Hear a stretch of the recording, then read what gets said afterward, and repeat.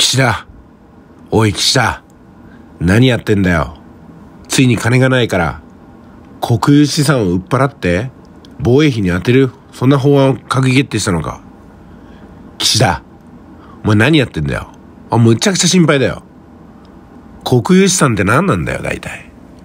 国有資産ってのはおそらく、特許権、著作権、商標権、その他の権利、これを国が持ってるものを売ろうってんだな。じゃあ例えば何なんだよ、特許権って。国の持ってる特許権って何なんだよ。何？警察庁？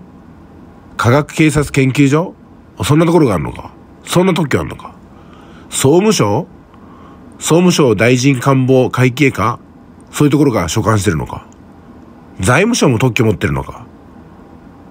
文部科学省も特許持ってるのか？特許の塊じゃねえかよ。どんだけ売るんだよ。国土交通省も環境省も防衛省も持ってるな。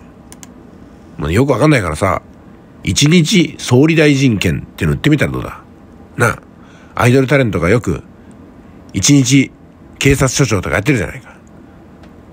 総理大臣も大したことないよ。なんか回ってきたペーパー読むだけだろそれで遺憾の意とか言ってないんだろ難しいこと言ったら検討するとか言ってけんだろこれ誰でもできるじゃないか。俺やってやるよ、もう。あ、あの、山本太郎にやらしてみようよ。